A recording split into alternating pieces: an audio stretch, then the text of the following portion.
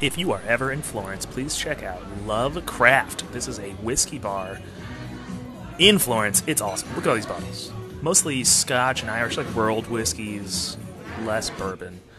I had this Thompson Bros. It was a 30 year Scotch, Springbank 11, and a Teeling 21 year.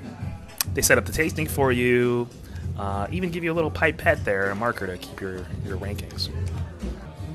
Surprisingly, with those big age statements, it is the Springbank 11 that won. The staff was awesome. They had great recommendations. So if you're ever in Florence, check them out. Lovecraft.